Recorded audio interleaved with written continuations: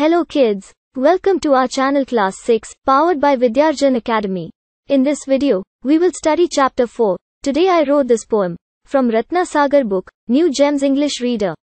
Now, Eshna will start reading the chapter and I will explain in Hindi. Today I wrote this poem, but I'm not sure if it's good. It doesn't have the things my teacher says a poem should. आज मैंने यह कविता लिखी है लेकिन मुझे यकीन नहीं है कि यह अच्छी है इसमें वो चीज़ें नहीं है जो मेरे टीचर कहते हैं की एक कविता में होनी चाहिए। It doesn't share the feelings I have deep inside of me it hasn't any metaphors and not one simile यह उन सारी फीलिंग्स को शेयर नहीं करती जो मेरे अंदर गहरी छुपी है। इसका कोई मेटोफॉल्स नहीं है और एक भी सिमिली नहीं। It's missing any narrative alliteration to it is an acrostic diamante और हाइकू इसमें कोई कहानी नहीं है। कोई अलिटरेशन यानी अनुप्रास अलंकार भी नहीं है।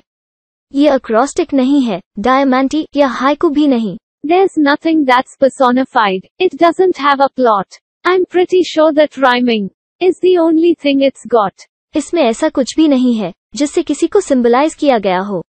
इसका कोई प्लॉट नहीं है। मुझे पूरा यकीन है कि केवल राइमिंग एक चीज़ है जो इस कविता में है।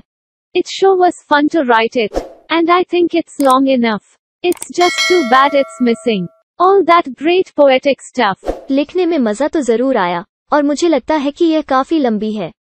यह बहुत बुरी है और इसमें वो सब गायब है जो कविता लिखने के लिए ज़रूरी है। I put it on my teacher's desk and wow she made a fuss she handed back my poem with in A plus plus plus plus मैंने इस कविता को अपने टीचर की मेज पर रख दिया और वह उन्होंने मुझे हैरान कर दिया। उन्होंने मेरी कविता मुझे वापस सौंप दी ए प्लस के साथ this video ends here I hope you like the video and understood the poem thoroughly.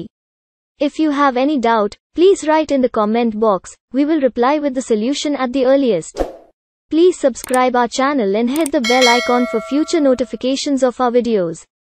Don't forget to share this video with your friends. Thanks for watching.